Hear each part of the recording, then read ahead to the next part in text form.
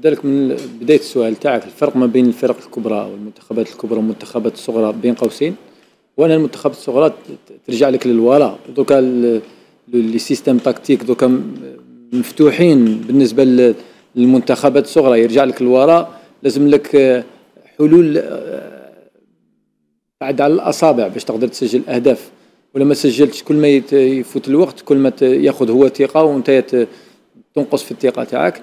ولكن آه، اليوم شفنا منتخب وطني جزائري ممتاز من الناحية الجماعية كما تسبق وقلنا في بداية المقابلة قبل بداية المقابلة.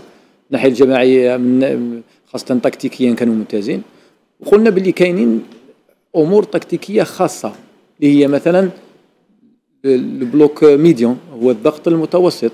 هو لما بونجاح يروح كوليبالي شعيبي يروح للمدافع الثاني آه، آه، محرز يروح لل arrière gauche عندنا بن رحمة يروح لل arrière droit. le milieu de terrain اللي هو زروقي كان يخرج دائما للغاناكي هذا في بناء اللعب لأنه فريق إحنا كون نشوفوا فريق السنغال الفريق الجزائري فريق السنغال يعرف يبني اللعب من الوراء. بينما المنتخب الجزائري ما عندوش بناء اللعب ما يعتمدش على بناء اللعب في التكتيك تاعو يعتمد على الثغرات اعتمد على ال l'attaque rapide اعتمد على الهجمات المعاكسة. هج... surtout surtout تقدر تقول الهجمه المعاكسة تقدر تقول l'attaque rapide بالك c'est beaucoup précis.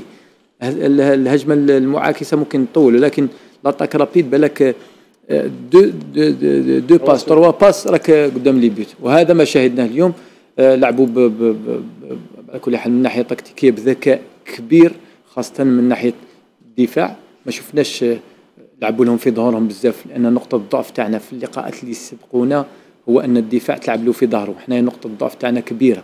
اليوم نظن اللي ما خلاوش هذيك نقطة الضعف تبان قدام منتخب سينيغالي كبير جدا.